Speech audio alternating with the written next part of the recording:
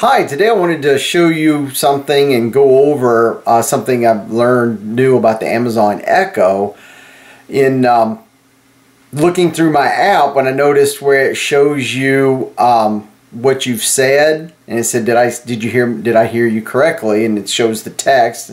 And you can say yes and then it's it's learned. Or if you say no then it it knows that's not what you said and it, it deletes that. But what I found out by accident. Looked, looked like a play button. I thought it was a drop down menu, but it, you click it and it plays your recording. It actually recorded your voice.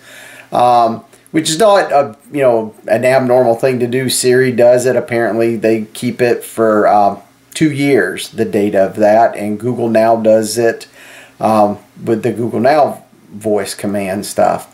Um, and Amazon does give you a couple of ways to clear it. You can do it from the app by going into the uh, settings and history and you can tap on each individual one and delete it. Or you can go into your Amazon.com um, on the website and you go into uh, your devices, Amazon Echo, and um, then click on manage your voice uh, data and delete it all.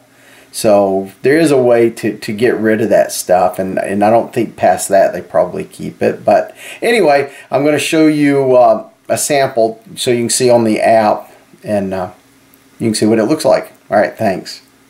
And um, when you're in the app, and you can see like when you talk to um, the Echo, and you'll see here, it's seeing what I said. You can actually click on this part Alexa, what is the weather? And it actually has been recording everything you say. If you click the more, and then right where you see that, it's like a little play button. Alexa, play Green Day. Okay, I'm going to show you on the app where you go delete the um, um, the voice settings and then history and then here's where the history of it saying everything. So you can click on one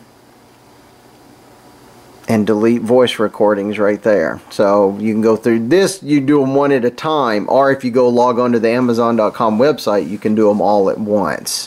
When you click on the, the echo device and then click on manage voice and so a window pops up delete boom done but for now, this is how it learns what I'm saying, so it knows if I said stuff correct, especially as anybody listening to my voice knows I have a southern accent. So things have a hard time sometimes. Alright, thanks for watching.